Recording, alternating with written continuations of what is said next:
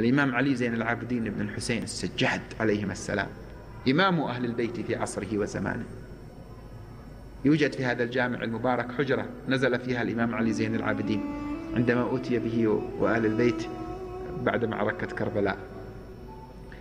الإمام علي زين العابدين بن الحسين خرج ذات يوم متوجه إلى الكعبة. هل الرجل كان يصلي ألف ركعة في اليوم والليلة؟ لا تقول لي كيف وبحسبها بالدقيقة؟ ابدأ واظب على 11 ركعة صلاة الوتر ستبدأ تفهم هذا الكلام. هذا كلام عمل. دخل إلى المسجد وعليه السكينة والهدوء وصلى ودعا الله وعبد ثم خرج عند خروجه تلقاه رجل من الذين في نفوسهم شيء على أهل البيت والعياذ بالله وهذا من النفاق. فلما رآه أمام الناس قال أنت الذي يدعونك ب... تدعى بزين العابدين؟ قال نعم. قال أنت شين العابدين؟ يقول لمن هذا الكلام؟ أنت الفاسق أنت الفاجر. وأتى بكلام مقذع فاحش يخاطب به الإمام علي بن الحسين بن علي بن أبي طالب وفاطمة بنت رسول الله صلى الله عليه وسلم إمام إمام عصره وزمانه. فغضب بعض الناس الذين مروا وسمعوا الكلام قال دعوا يكمل دعوا الرجل يكمل. لما انتهى الرجل من كل ما عنده مسلسل الشتم كل العريضة اللي معكم.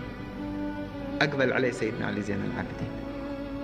قال يا ابن أخي أما وكل الذي قد ذكرت في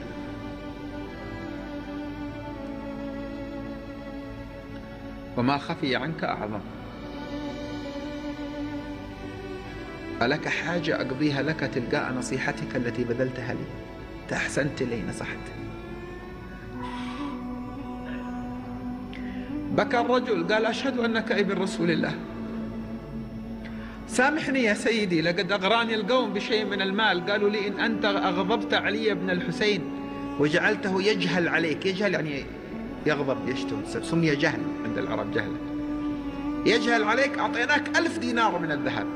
فتبسم مرة ثانية. تعرف تتبسم عندما يسيء إليك أحد؟ هذا أول شيء تعمله عمليا.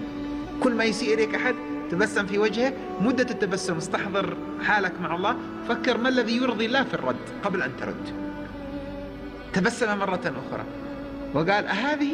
يعني بس على ألف دينار. قال نعم.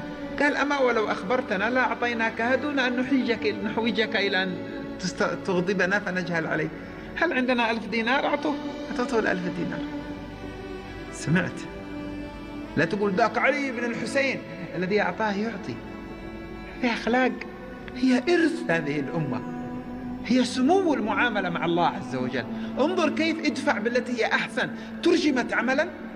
سيدنا علي زين العابدين دفعها بالتي هي أحسن. ماذا أثمرت؟ فإذا الذي بينك وبينه عداوة كأنه ولي حميم. أي لا تقول أنا حاولت دفعت بالتي هي أحسن بس الناس ما فيهم فائدة كلام الله لا يخطئ.